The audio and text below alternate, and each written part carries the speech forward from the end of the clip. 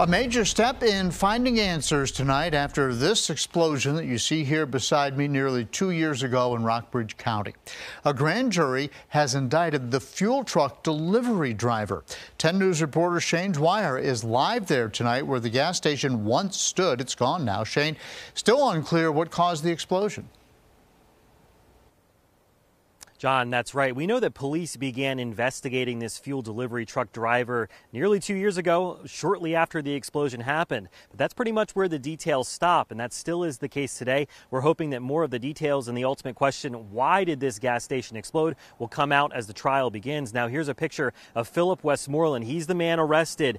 Police arrested him for four counts of involuntary manslaughter. Those charges brought down by a grand jury, and he was arrested on Friday. Now, Virginia State Police say he's the fuel truck driver, and search warrants from two years ago say the station had been serviced less than an hour before the explosion happened. The warrants stated they were investigating the driver's responsibilities for a quote leak, spill, or overflow. Now, that explosion killed four people the store's owner, two employees, and a customer. It also injured three others. Back out with us live now, as you said, the gas station is no longer here. It's been completely uh, filled in with dirt and grass here on top.